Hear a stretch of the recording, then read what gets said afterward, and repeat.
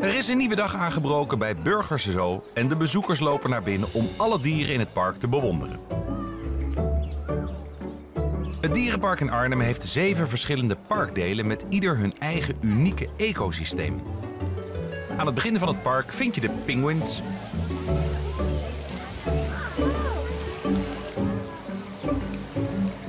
Maar vandaag lopen we eerst door naar de safari.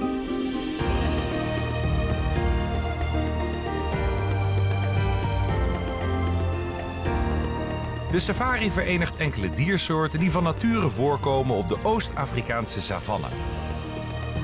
Op de uitgestrekte graslanden leven onder andere giraffes, zebra's en breedlip neushoorns. Constance Mager, hoofdeducatie, legt uit wat er zo speciaal is aan de safari. De safari toont het landschap van Oost-Afrika, open grasland, waar ontzettend veel hoefdieren samenleven.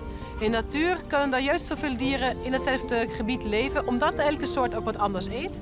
Dus ze hebben niet zoveel uh, strijd om, om voedsel.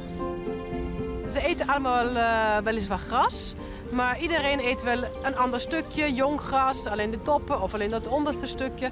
En zo kunnen ze allemaal vreedzaam samenleven. Een vreedzaam samen zijn dus, maar dat gaat niet altijd op. Onderling de dieren hebben ook nog wel uh, een bepaalde rangorde van eten. Uh, de neushoorns bijvoorbeeld, een man moet een beetje op afstand blijven. Uh, totdat tot ja, een bepaalde afstand wat de vrouw nog dulden.